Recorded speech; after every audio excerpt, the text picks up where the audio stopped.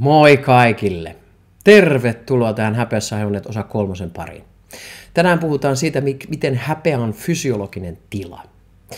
Ja mä oon Painemi Jussi, toimin täällä Filiuset Filassa kehollisdialektisena valmentajana ja kehollisdialektisena terapeuttina yksilöille ja yhteisöille. Ja te olette nyt seuraamassa mulle tosi tärkeää sarjaa ja tänäänkin juuri nyt koen tietynlaista kelpaamattomuuden tunnetta – ja se on hyvin syvällinen tunne.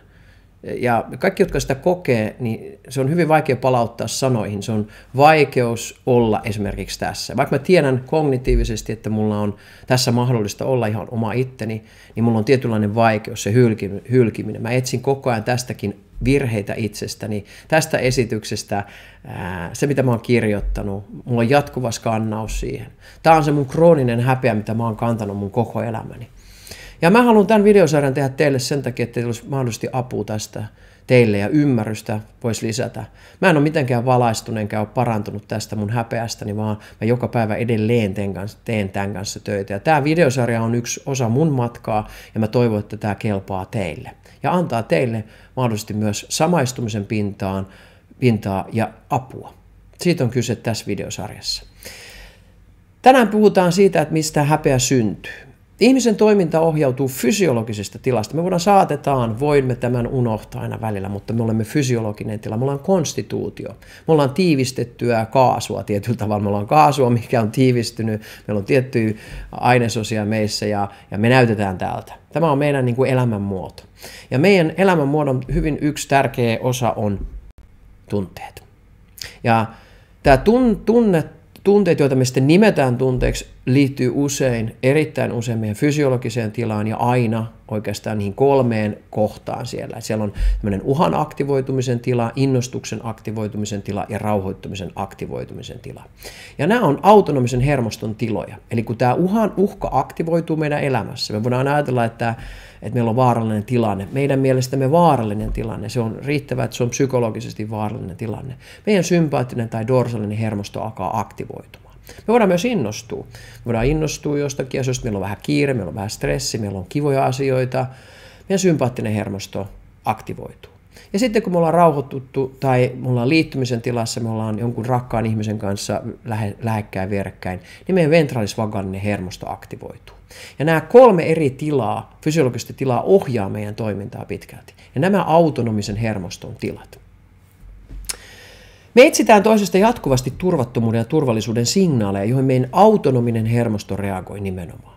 Ja me kiinnitetään jatkuvasti huomiota itseemme ja ympäristömme turvallisuuden ja turvattomuuden signaaleihin. Ja jos me ajatellaan hetki sitä, että kun me ollaan, me ollaan, jos me ollaan kroonisesti häpeässä, me ollaan kroonisesti siinä uhkareaktiossa, uhkaorientaatiossa, niin meidän elämä on jatkuvasti tätä signaalien etsimistä. Ja meillä on hyvin vaikeaa myös esimerkiksi etsiä turvallisuuden signaaleja, vaan me etsitään jatkuvasti sitä turvattomuutta. Nämä kaikki aktivoitumisen tilat on liitoksissa oikeaan aivopuoliskoon ja autonomisen hermoston tilaan, jota tämä neuroseptio valvoo. Puhutaan interoseptiosta, joka on täällä meidän sisällä, neuroseptio, joka valvoo myös sitä, ää, tota, noin, mitä ulkona tapahtuu, miten ihmiset meidän ympärillä käyttäytyy, onko meidän fyysisessä ympäristössä vaaroja, etc. Autonominen hermosto tukee yksilön psyykkis-fyysistä hyvinvointia, kun se on valjastettu liittymiseen, eikä uhkatilanteesta esimerkiksi häpeä selviämiseen. Kaikkea me tarvitaan, mutta jos me ollaan jatkuvasti siinä uhkareaktiosta, meillä on jatkuvasti se kroninen häpeä, niin kuin minullakin, niin mä uskon, että tämä niin kuin mun psyykkis-fyysinen hyvinvointi, tämä vaatii äärettömän paljon huoltamista. Mä teen joka päivä liikuntaa, mulla on, mä joogaan, mä pyrin syömään hyvin, mä en käytä kofeiiniä ja silti mulla on välillä haastavaa. Koska tämä mun autonominen hermosto on kiinnittynyt tietyllä tavalla tähän krooniseen häpeään ja uhkareaktioon. Ja se on hyvin valmis koko ajan niin kuin pel- niin kuin pelkäämään ympäristöä, pelkäämään ihmissuhteessa, etc. Niin kauan kuin mä tunnen olevani turvassa, niin mun vagu, ventraalinen vaguskompleksi ja siihen liittyvä tämä vagaalinen jarru jarruttaa vatsanpuoleisella haarakkeella hermostomme fysiologista tilaa. Eli ventraalinen tarkoittaa, tulee latinankielisestä sanosta, tar- tarkoittaa enemmän vatsan puoleista, tämä etupuoli.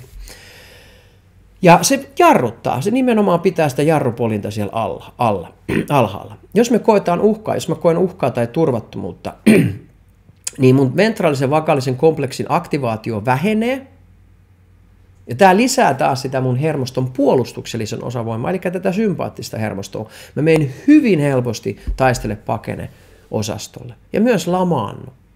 Eli se häpeä on se lamaantumisen tila, dorsaalinen tila. Ja mun, mun jarrupoli on hyvin, hyvin niin kuin herkkä. Ja oikeastaan se on, puhutaan siitä, että, että tota noin, niin, tämä ei välttämättä toimi kunnolla. Tästä on tietysti tehty tutkimuksia, HRV, eli tämmöinen sykevälivaihtelu, millä me ollaan sitä yritetty tutkia, että miten tämä, miten tämä ventraalisvagaalinen jarru, jarru, vagaalinen jarru toimii, mutta tätä ei tietysti tämä länsimäinen tiede vielä uskaltanut ottaa ehkä vielä laajemmin käyttöön koska se, se on liian spesifiä eikä silloin ehkä liian tarpeeksi myöskään näyttöjä ollut. Mutta tämä vakallinen jarru on yksi osa polyvakallista teoriaa. Ja mä uskon siihen oman kokemuksen kautta. Jos kasvattajat lapsuudessa esimerkiksi ei pysty rauhoittamaan fysiologista tilaa turvallisilla tavoilla, lapsi kokee olevansa yksin ilman korjaavaa kokemusta jääden kiinni kanssa säätelemättömään tunteeseen. Ja silloin lapsi kokee kelpaamattomuutta. Tämä on se kehä, mä toistan tätä monesti tässä videoseurassa, mutta tämä on tosi tärkeä kehä. Siellä on se kanssasäätelemättömyys ja siitä tulee se kelpaamattomuus, siitä tulee se yksin jääminen, siitä tulee se häpeä, siitä tulee se pahaminuus, siitä tulee se dorsaalinen tila, siitä tulee se masennus. Ja kuinka paljon Suomessa on esimerkiksi keskivaikeasti masentuneita ihmisiä, kuinka diagnoosi mahtaa olla tällä hetkellä. En olisi katsonut mitään tilastoja, mutta niitä on paljon. Mä uskon, että suurin osa mun asiakkaista on jollain tasolla masennusdiagnoosin saaneita. Myös muita diagnoosia tietysti siellä. Turvaton kiintymyssuhde ja turvattomat tilanteet rakentuvat, rakentuvat psyykkis-fyysisesti lapsen autonomisen hermoston ja aivojen hermoratoihin liittyvässä neuraalisessa kehityksessä. Eli ne rakentuu sinne. Ja nyt mä, mä, mä, mä haluan toistaa teille, että mä en usko, että meillä on mitään sellaista keinoa, että me otetaan jotain pois tai me annetaan jotain tilaa. Mä uskon, että tässä on kyse hyvin pal- paljon yhteydestä. Mä olen omalla matkallani yrittänyt vahvistaa yhteyttä itseni. Mä oon vuosia joogannut. Tämä on ollut pitkä ja sitkeä tie, mutta mä oon saanut enemmän yhteyttä itteeni. Välillä sekin on hataraa, kun vaurio on niin kova. Ja mä oon joutunut ensimmäisen 20 vuotta korjaamaan omaa autonomisen hermoston tilaa päihteellä. Se on ollut itse lääkitystä. Se ei ole liittynyt mun moraaliin millään tavalla. Mä en ole ymmärtänyt, mistä on moraalissa kyse. Mä oon hakenut sitä helpotusta siihen mun autonomisen hermoston tilaan. Ja siihen, että mä en pysty tulkitsemaan tätä turvallisuuden ja turvattomuuden signaaleja millään tasolla. Ja mä, ne tunteet ei ole liitoksissa, mun oikea aivopuolisko ei ole liitoksissa mun vasen aivopuoliskoon. Sitä on mun elämä ollut. Vaikka mä oon hyvin funktionaalinen ja pystynyt tällä mun omalla narsisti osallani tuleen tänne hyvin pitkälle niin kuin tähänkin tilanteeseen. Mutta mun täytyy olla rehellinen, että se yhteys on se, mikä mulla, multa on puuttunut. Nyt se on alkanut vahvistua viime vuosina, mutta se yhteydettömyys on se, mitä mä, ja se yhteys on se, mitä mä kaipaan. Yhteys itseen ja toiseen ihmiseen. Ja sitten niiden tilanteiden läpikäymistä, missä niitä on syntynyt, jotta mä ymmärrän myös, että miten mä toimin, että mä oon aina automaatiossa. Eli tämä hermoston ja aivojen hermoradat, autonominen hermosto, aivojen hermoradat, nämä molemmat vaikuttaa meidän tapaan olla toisten ihmisten kanssa. Tämä meidän fysiologinen tila. Meidän täytyy ymmärtää, että jos meillä on niin fysiologinen tila, missä on kaksi ihmistä, kaksi, toinen on liittymisen tilassa, ventraalisvagaalisessa tilassa ja toinen on pelokas. Ei tämä pelokas ihminen, eikä tämä ventraalisessa vakaalisessa tilassa, kun olemme enää löydä toisiaan, koska me tarvitaan tietyllä tavalla molemmille se turva. Siksi meille traumatisoituneille on helpointa välillä olla yksin, vaikka se on vaarallisin tila meille silloin, kun se kestää pitkään. Mutta kun siinä meillä ei ole se uhkareaktio niin voimakkaasti päällä, vaan silloin me yritetään pärjätä se meidän oman, oman tota, sisäisen maailman kanssa. Ja Tämä kaikki vaikuttaa siihen meidän tendenssiin kokea häpeää. Koska me ei osata liittyä, niin se on ihmisen laji, se on lajinomaisesti selitettynä, se on meille häpeän tunne. Se outo, vaikea tunne, haluan olla mieluummin yksin kuin liittyä toisiin, se on häpeä. Miltä se häpeä tuntuu kehollisesti, somatoformisesti? Häpeä on hajoamisen tunne, jossa hetki sitten ollut levollisuus pirstaloituu se todellakin hajoaa. Ja tämä ei ole niinku mikään vitsi. Mä oon ollut tänäänkin semmoisessa pienessä hajoamisen tällaisessa. Ihan niin kuin minusta tippuisi jotain vähän pois koko ajan. Pieniä sirpaleita. Ja nämä päivät on erilaisia. Huomenna mulla on varmasti erilainen päivä, mutta joinakin päivinä mulla on sitä tippumista. Mä tavallaan hajoan ja pirstaloidun. Ja mun on vaikea liittyä toiseen ihmiseen. Eli tämä levollisuus pirstaloituu jättämään negatiivisen aktivaation ja liittymisen tilaan. Eli mä en ole liittymässä toiseen ihmiseen. Mulle sosiaaliset tilanteet on semmoisissa tunteissa, ne on, niin kuin, ne on taistelua. Ja mä olen aina ihmetellyt, mikä siinä on, että miksi mä oon näin vammautunut.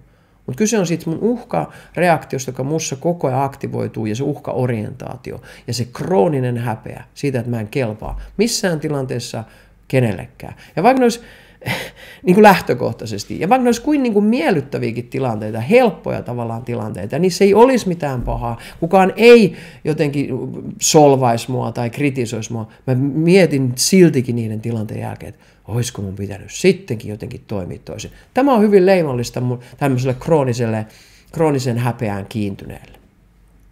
Siellä on tietysti paljon tämmöisiä ihan fyysisiä oireita, hikoilua, punastumista, koordinaation menetystä. Ihan kuin me ei osattaisi kävellä, ihan kuin me ei osattaisi niin kuin olla. Ja kaikki viittaa nopeasti muuttuneeseen fysiologiseen tilaan, jossa autonomisen hermostotila muuttuu uhkareaktion kautta uhkaorientoituneeksi. Eli se on se uhkareaktio, ja sen jälkeen me aletaan miettiä sitä uhkaorientoitunutta toimintaa. Miten me päästään tästä tilanteesta pois, tai koitetaan olla liikkumatta, tai koitetaan olla puhumatta, tai mitä se ikinä tarkoittaakaan, tai se tilanne vaatii. Fysiologisten vaikutusten takia häpentunteet ovat hajottavia. Meidän rintaa saattaa puristaa, sydän tykyttää, korvat kuumottaa, hikoiluttaa, oksettaa huimaa, kyky ajatella heikkenee. Ja meille annetaan tämmöinen äh, tota niin, mm, kohtauksen nimi kuin paniikkikohtaus, paniikkihäiriö. Mä olen ihan sata varma, että tämä liittyy häpeään. Sitten meillä on tämmöinen kuin ahdistushäiriö. Ja mä olen aivan sata varma mun kokemuksen kautta, minua ei tarvi uskoa, mä oon tämmöinen oman linjan kulkija, se liittyy häpeään. Ja ne on häpeään hajoamisen kohtauksia. Siellä on syvällä käsittelemätöntä häpeää ja syyllisyyttä, lapsuuden kokemuksia. Ja meistä moni kantaa, ja me mennään hakemaan niitä pillereitä sieltä, me haetaan sitä apua, mutta me ei ymmärretä, että kyse on häpeästä, jota me ei olla pystytty käsittelemään johon me ei ole saatu riittävästi kanssasäätelyä. Eikä saada. Häpeän tunteessa tilamme muuttuu. Älä näe minua nyt tilaan, joka ilmentyy kaikissa sosiaalisen liittymisen tilan vaativissa kehon merkeissä. Katseessa, kasvoissa, hartioissa, kehon asennossa ja äänensävyssä. Me ollaan häpeän sisällä, me hajotaan sinne sisään. Ja tästä saattaa syntyä vielä pelko. Eli nämä on kompleksisia tunteita. Se ei ole ainoastaan häpeän tunne, vaan niihin liittyy monia erilaisia tunteita. No mitä jos me hajotaan kovin usein tähän häpeän tunteeseen? Miten me aletaan suojautumaan sit siltä häpeän tunteelta, joka on hyvin väkivaltainen tunne meille? Silloin kun se tulee kroonisen häpeän käsittelemättömän lapsuuden kautta. Häpeän fysiologinen tila ohjaa meitä katoamiseen, pakenemiseen, tilaan, jossa voisimme olla mahdollisimman yksin. Tämä on tavallaan se eristäytymisen ensimmäinen askel, masennus. Sehän on syvää häpeää. Se on hyvä häpeää siitä, että me ei voida olla toisten ihmisten kanssa. Meillä ei ole arvoa. Me piiloudutaan hiuksien, kasvojen, huppujen taakse ja vältellään katsekontaktia. On aina tämmöiset pintatason, pintatason niin kuin oireet. Me yritetään olla mahdollisimman huomaamattomia, jotta meitä ei enää tarkkailtaisi. Ja jos me ei päästä pakenemaan, ahdistus kasvaa ja siitä voi tulla aggressiivisuutta. Eli lapsella varsinkin, kun se häpeä on lauennut jostain normaalista tilanteesta, lapsi ei saa jotain tilannetta, lapsella on vaikea olla jonkun ihmisen kanssa, siellä tulee sitä häpeää, kanssa säätelemättömyyttä, ymmärtämättömyyttä. Jos lapsi ei sitten pääse pakeneen, lapsi alkaa olla aggressiivinen. Tai jos lapsella on vaikea olla siinä, lapsi voi lyödä tai... Nämä on kaikki häpeän oireita. Ja me ei ymmärretä sitä. Ja tämmöisestä suojautumistavoista tulee sitten koko elämän pituinen matka, niin kuin minullakin. Niin mä olen joutunut siltä häpeältä suojautumaan. Ajatukset ohjaa meitä tämmöisissä tilanteissa voimakkaasti pois hajoamisen tilasta, eli eri dissosiaation muotoihin. Minulla suurin dissosiaatio on ollut se päihde. Addiktiot, eri addiktiot, ei pelkästään päihteet, vaan tekeminen, liikkuminen, seksi, päihteet, kaikki nämä. Ja mä en puhu niin kuin fyysisesti seksin kohdalla, mä en puhu niin kuin siitä aktista, vaan että mä, siihen ajatukseen meneminen. Ja mä puhun näistä rehellisesti sen takia, koska niin moni kärsii näistä asioista. Ja näistä poistuleminen on mahdollista. Se häpeä tulee niin voimakkaasti, se tulee millisekunneissa, eli sekunnin tuhannesosissa, neljännestuhannesosissa, erilaisten suojautumisstrategioiden taakse. Me tullaan niin kuin, me kompensoidaan sitä jatkuvasti, sitä häpeää. Se voi laueta meillä jossakin tilanteessa ja meidän täytyy liimata siihen vaikka narsismin muoto, se ylemmyys. Ja jos mä en olisi tässä mun häpeässä niin kuin sujut, niin mä tulisin tähän hyvin voimakkaalla ylemmyyden tunteella ja ajattelisin, että mun täytyy tämä väkisin niin runnoa teille. Alemmuuden narsismi. Ei, ei musta mihinkään. Jatkuva niin kuin alentaminen. Ja sitten kuitenkin niin kuin katkeruus sitä kautta ja itseviha. Ja sitten me voidaan dissosioida tietysti fysiologisesti itsemme sympaattisen hermoston tai dorsaalisen hermoston tilaan. Eli tätä tämä esimerkiksi narsismin muodot on sitten fysiologisesti. Eli sellaista ylivireyttä, alivireyttä. Ja sillä me sitten suojaudutaan sitä yksinäisyyden, toivottomuuden ja hajoamisen tunnetta vastaan, joka on siellä meidän syvällä siellä kokemuksessa, meidän minuuden kokemuksessa. Sieltä tulee sitä häpeää, sitä me joudutaan suojaamaan. Minuus, not me-tila, mä en ole täällä edes, koska mä en tiedä mikä tämä not me-tila on, koska kukaan ei ole sitä mun kanssa lähtenyt tutkimaan. Mä en ole koskaan kanssasäädöllistä kenenkään kanssa. Ja siihen rakentuu, sieltä resonoi sitä häpeän tunnetta ja sitten me joudutaan sitä suojelemaan tämmöisellä selviytymistrategioilla.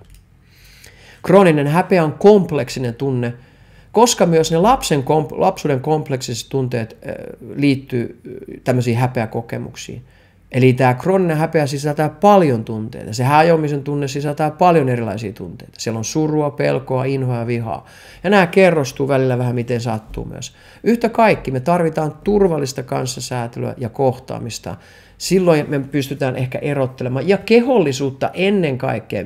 Mikään tavallinen psykoterapia ei tule auttamaan ainoastaan äh, häpeän eheytymisessä. Ei, millään, ei missään tapauksessa vaan se täytyy mennä kehollisesti myös, koska meidän täytyy oppia erottelemaan näitä tunteita ja tunnistamaan nämä häpeän aiheut, että me pystytään olemaan itsellemme ja toisillemme rehellisiä. Kun me sitten joudutaan siihen turvattomaan häpeän tunteeseen, me tehdään äkkikiihdytyksiä, jarrutuksia ja reagoidaan suhteettomalla tavalla tilanteisiin. Tätä on meidän elämä usein, reaktiivista, impulsiivista. Meidän sympaattinen hermosto reagoi aitoihin ja kuvitteellisiin uhkiin, eikä löydä keinoa rauhoittua. Ja niin moni ihminen tulee mun luo ja pyytää, niin kuin, että Jussi, anna mulle jotkut työkalut, miten mä rauhoitan itteeni. Ne on viisi kertaa, mutta ne ei ymmärrä, että tässä on kyse häpeästä. Tämä on pitkä matka. Meidän täytyy niin kuin käydä tätä läpi. Meidän täytyy rauhassa ja rakkaudella huomioida, ymmärtää, tunnustaa, tunnistaa hyväksyä myötätuntoisesti se, mitä me koetaan näissä häpeän kohtauksissa. Ja kuinka paljon tämä häpeä ohjaa meidän elämää. Se on se matka. Siihen ei ole mitään yhtä työkalua. Me voidaan hengitellä, me voidaan tehdä joogaa, me voidaan tasata meidän autonomista hermostoa. Se on tärkeä juttu. Se on sitä tylppää terapiaa tietyllä tavalla. Siinä me pystytään itse säätelemään sitä jonkun verran. Mutta siellä syvällä on se tunne, ja sitä meidän täytyy jonkun turvallisen ihmisen kanssa käsitellä. Monet päätyy rationalisoimaan elämää, eli elämään sen vasemman aivopuoliskon avulla jatkavu, ja meillä on jatkuva ratkaisu ja pakkomielteisten ajatuksien täyttämä elämä. Tästä mä olen myös hyvä esimerkki. Mä ajaudun edelleen, kun mä en ole yhteydessä sitten, niin mä ajaudun siihen niin kuin pakkomielteisyyteen ja, ja, ja siihen, niin kuin, että mä en ole todellisessa yhteydessä itseeni. Mulla ei ole yhteyttä oikean aivopuoliskoon, eikä siihen autonomisen hermoston tilaa. Mä rakennan, mä säädän, mä täytän, mä työnnän, mä ohjaan, mä kontrolloin, Oon koko ajan tavallaan siinä suojaamisessa. Pahimmillaan tämä on sitä, että me halutaan niin tulla kuuluiksi nähdyksi ja ymmärretyksi, olla yksin ja sekä kostaa kokemamme vääryys. Me ollaan hyvin kompleksisessa tunteessa tämän häpeän kautta. Meillä on vaikea välillä ymmärtää, syytetäänkö me nyt itteemme vai toista vai, vai mitä tässä nyt oikeasti tapahtuu. Me halutaan taistella, me halutaan ehkä kokea se valekuolema, eli hautautua maan alle, mutta me, ja me painetaan sitä jarru ja kaasu yhtä aikaa. Ja sitten me ei voida toimia. Ja moni jää semmoisiin luuppeihin, elämän luuppeihin, eli parisuuden luuppeihin, tai sitten semmoisiin työluuppeihin tai muihin ihmissuuden luuppeihin, mistä on niin kuin vaikea päästä eteenpäin. Se lojaali odottaminen, mistä mä oon aikaisemminkin puhunut ehkä, niin, niin tota, se tulee. Me odotetaan jotain ihmettä, mutta me ei ymmärretä, että kyse on häpeästä, joka pitää meidät tässä luupissa koko ajan. Häpeä vaikuttaa siis kokonaisvaltaisesti ajattelumme ja käyttäytymiseemme, eli fysiologiaamme. Ensi jaksossa puhutaan kanssasäätelemättömyyden ja häpeän vaikutuksesta oikeaan aivopuoliskoon, eli tunteita säätelevään ja käsittelevään osaan. Aivoissa on muitakin tietysti tosiaan, mä en ole mikään neurobiologi, enemmän kasvatustieteilijä, kasvatuspsykologi, nykyään kehollisdialektinen valmentaja, terapeutti. Mutta me käydään tätäkin näillä minun vajavaisilla tiedoilla, jotka tietysti aiheuttaa mulle riittämättömyyden tunnetta. Mutta antakaa anteeksi. Minä hoidan tämän videosarjan niin hyvin kuin mahdollista. Toivottavasti teillä on hyvä olla tässä kyydissä. Tulkaa ensi jaksoon mukaan. Ja jos te haluatte tulla ensi syksynä mukaan häpeää hoitaville intensiivijaksoille, eli trauman jäljet kehossa, siellä käsitellään 35 tuntia, plus siellä on kaikkea muuta kivaa ohjelmaa. Turussa 2023. Jos sä haluat katsoa lisää ohjelmaa, mitä se maksaa, etc. www.filiusfila.fi, käy sieltä katsomassa. En anna lisää mainoksia tähän kohtaan. Rakkautta sun päivään. Kiitos tästä. Namaste.